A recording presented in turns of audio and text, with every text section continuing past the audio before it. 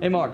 Hey, Mr. J. So I know doing all this merch marketing, like these three awesome Death Battle t-shirts, can get kind of stressful. So we added some new office amenities that I think will help take the edge off. Like the new office jacuzzi. Yeah, no thanks. You ever smelled a wet sloth before? All right, maybe a relaxing massage then. Yeah, I got a fair hands. All right, how about a nice hot sauna? It's a fucking toast oven, Chad. I'm Mark Slothman, and now I got the sexiest shirt in the market, Death Battle shirts. You wear this, you're gonna find yourself in a sex battle. I don't know what that is, but I know you'll love it, okay?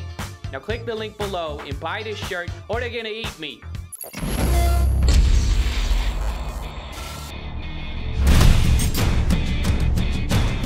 In ancient times, the Greeks believed everything to be made of four elements earth, air, water, and the most difficult to control, fire. But these two combatants have mastered the art of playing with fire. Natsu Dragneel, the Dragon Slayer Mage of the Fairy Tail Guild. And Portgas D. Ace, the feared pirate known as Fire Fist. He's Wiz and I'm Boomstick. And it's our job to analyze their weapons, armor, and skills to find out who would win a death battle.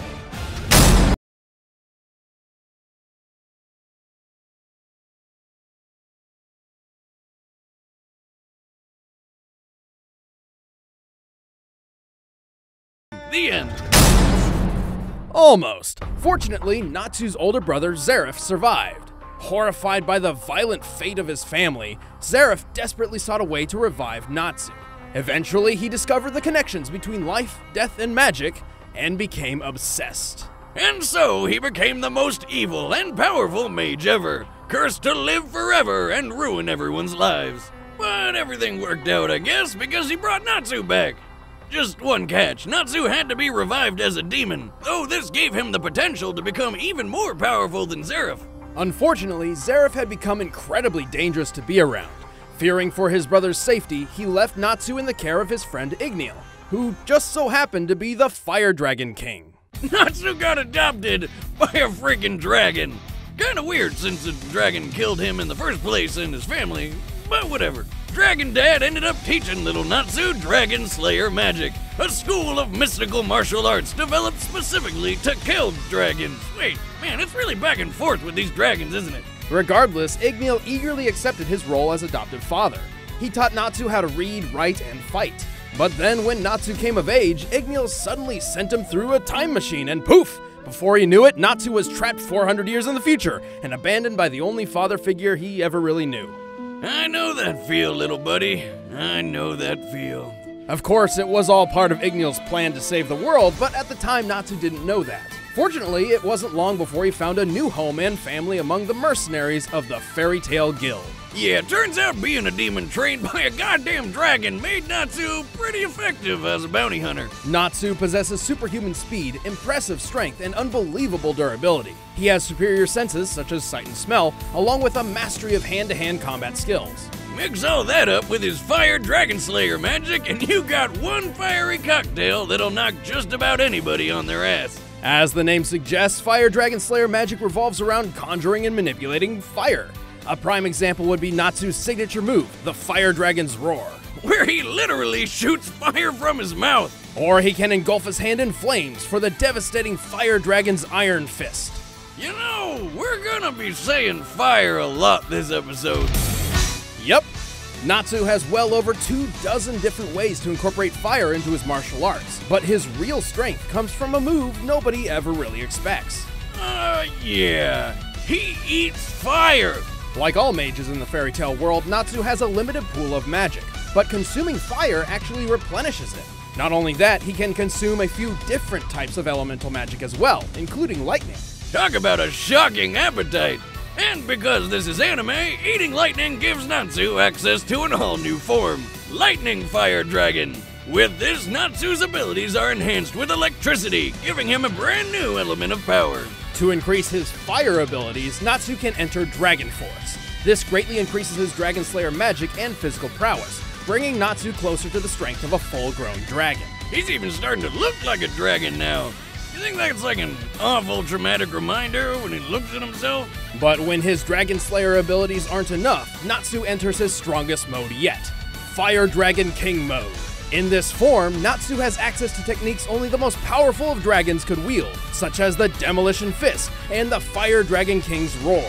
At his strongest, he could wipe out exactly 973 soldiers all at once and create massive explosions so big they could wipe out a whole town. Natsu's raw power is extraordinary, both magically and physically. He's strong enough to lift an enormous stone slab several times larger than himself.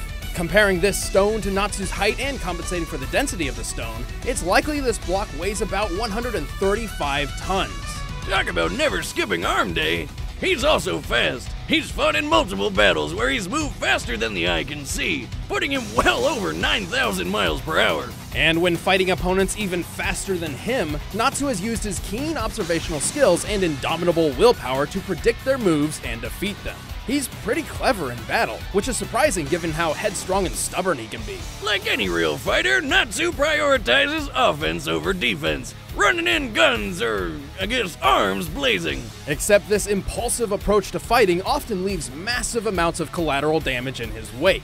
Remember how we mentioned his firepower could wipe out a whole town? Well, sometimes that's not completely intentional. In fact, this hasty attitude may be his greatest weakness. Nah, his greatest weakness is how easily he gets motion sick.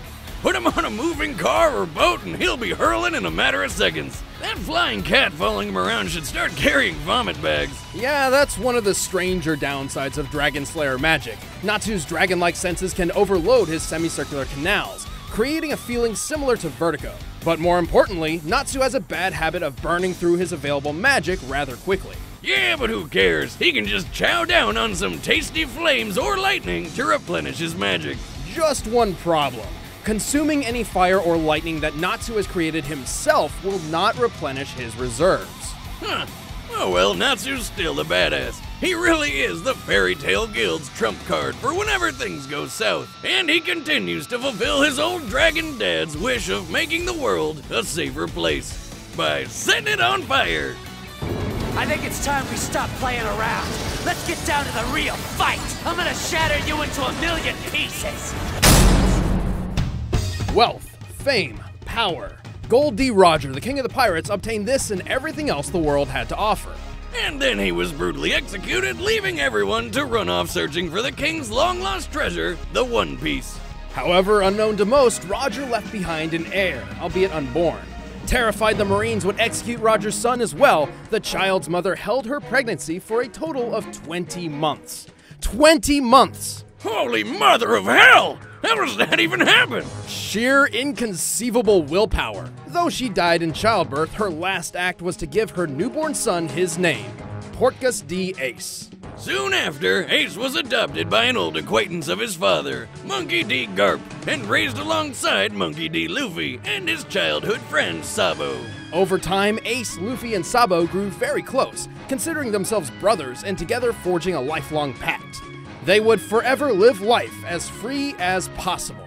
And for Ace, that meant following in his father's footsteps. It was the pirate's life for him. Ace was a natural on the sea, thanks to his incredible strength and combat aptitude. He quickly learned his way around the ocean, becoming the captain of his own ship in just a year's time, and eventually joining the ranks of the deadliest pirates around.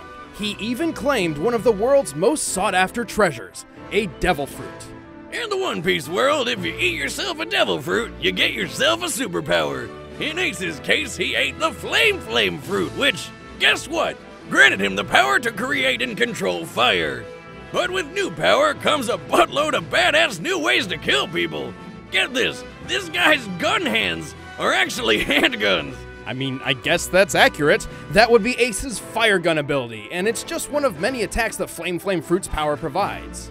Man, I love my gun leg and all, but now I think I really need me some gun hands to go along with it. Boomstick, sometimes I really, really wonder about where you came from.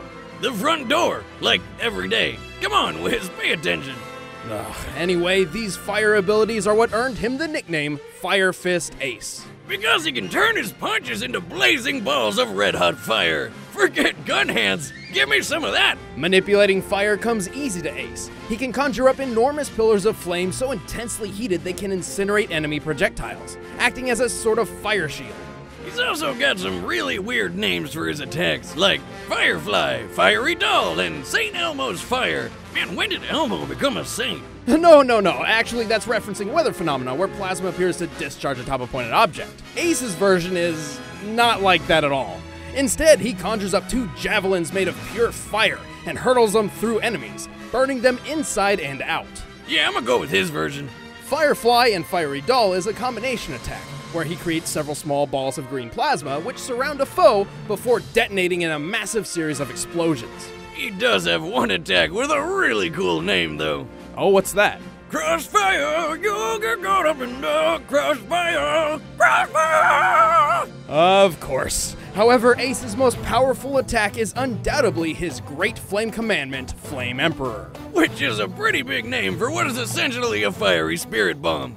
But good God, if you see that thing coming your way, don't even bother trying to run. You dead. There's even more. See, the devil fruit Ace discovered was of a rare breed, a Logia fruit. Because of this, Ace also gained the ability to transform his entire body into fire. When he's in flame on mode, physical attacks pass right through him like he isn't even there. And if his fire body is somehow messed up, like someone dropping a giant candle snuffer on him, his true human body would be totally unaffected. Actually, since receiving this power, Ace has only been badly hurt by other Logia users wielding an element with an inherent advantage over fire, such as magma or water. Man, it's like he's invincible. In a way, but it's not an automatic defense. Ace must make the conscious decision to transform his body. But thanks to his blindingly quick reflexes, he's able to avoid almost any attack. He can even react quick enough to avoid a shot from a sniper. In this instance, he was reacting to the gunman in view. Assuming this gunman was professionally trained, Ace would have needed to react in about a quarter of a second. But who needs speed when your fire fist can blow apart five ships all at once? Considering ships like these would likely be constructed of teak wood, to accomplish this, Ace would need to hit each ship with at least 15,000 pounds of force per square inch. So getting hit by Ace would be like getting hit with a wrecking ball.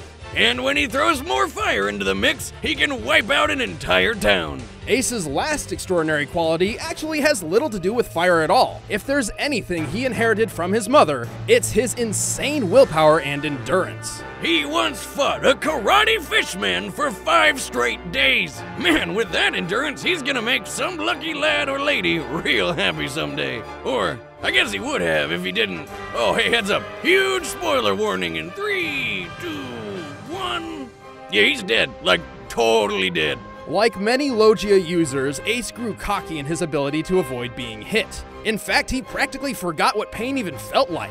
And so, despite all of Ace's fantastic feats, his most impressive was when, for once, he chose to take a hit, sacrificing himself to save his brother Luffy. Damn. Would you do that for me, Wiz? Hmm? Oh, oh, sure, of course. You're a goddamn liar. I can't allow that. I'll take care of this on my own.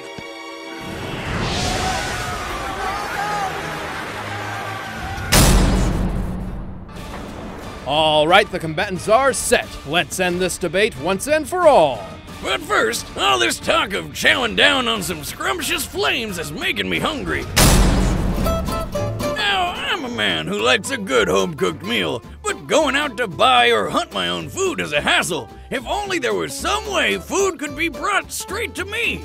Good news, Boomstick! Introducing Blue Apron, the number one fresh food delivery service in the country. Using only the freshest ingredients, Blue Apron delivers a kit of ready to cook meals straight to your door, along with easy to follow instructions. Plus, the ingredients are perfectly proportioned, so it cuts down on waste and you know you're using the right amount. On top of that, you can log into their website and select the upcoming meals that sound good to you, like the crispy salmon and roasted potato salad with pickled mustard seeds and cream fraiche sauce. Plus, it does feel rewarding cooking new and exciting meals right in your own home. But don't just take our word for it, we want you to try it. Because you're watching Death Battle, you can get three meals free with free shipping by heading to blueapron.com forward slash battle. Seriously, you will love how good it feels and tastes to create incredible home cooked meals with Blue Apron. So don't wait. That's blueapron.com forward slash battle. But right now, it's time for a death battle!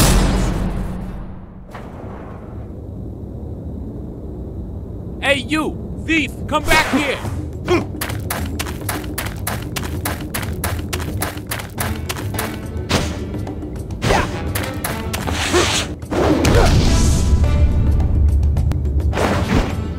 Give that back, or you'll have to deal with me!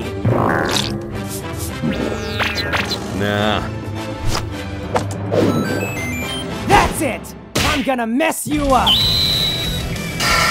Fight! Yeah. Fire! Fire Dragon Sword Horn! Wait, are you seriously made of fire? Gunflare! Time to turn up the heat! Fire Dragon King's Roar!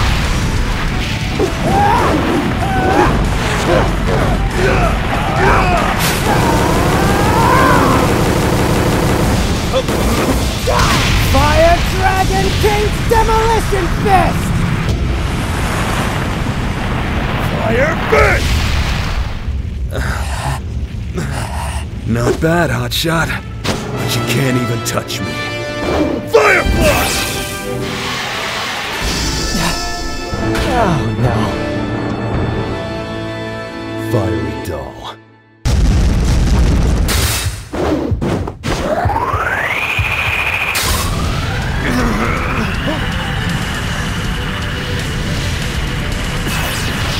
Wait, are you seriously eating fire? Try eating this!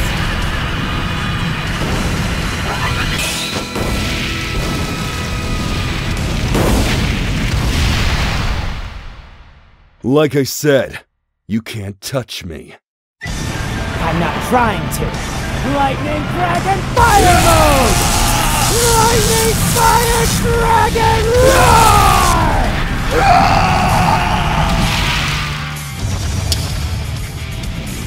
Phew. All's well that ends well. KO! Ew! That's a burn if I ever saw one. This battle was anything but clear cut. Natsu held the advantage in speed and strength, and Ace trumped him in endurance and defense. Still, neither held an advantage so much that the other couldn't keep up. Both were mostly immune to each other's fire attacks. Because fire is Ace's only real weapon, this means he really didn't have anything that could kill Natsu. Natsu was definitely strong enough to put Ace down, but with Ace's intangible fire form, Natsu couldn't even touch him. So, sounds like a stalemate. Very nearly. Luckily for Natsu, he had an ace in the hole. Hey, there's one. Oh, thanks. Natsu has had far more combat training than Ace, and is known for using his superior senses to study his opponents and take advantage of their vulnerabilities. No matter what I try, this human just consumes my curses. He might even be stronger than he was when this fight started. When Ace realized Natsu could eat fire, he had to become more liberal with his true physical form to avoid being consumed. And this was what Natsu was counting on. Being faster than the eye can track, Natsu was more than quick enough to get a good hit in up close. A perfect opportunity to use a fast, deadly elemental weapon Ace's body wasn't immune to lightning. It's not like Natsu was gonna run out of magic or anything. I mean, there's freaking fire everywhere. As his speed, strength, martial arts, and versatility surpassed Ace, all Natsu needed was one good shot, and he made it happen. In the end, Natsu was too hot for Ace to handle. The winner is Natsu Dragneel. I'm Chad, I play Boomstick. I'm Ben, I play Wiz, and stick around, we're about to announce who fights next time. And if you want to watch exclusive commentary on this episode, click that little box, sign up for a first membership trial. It's a great way to support the show.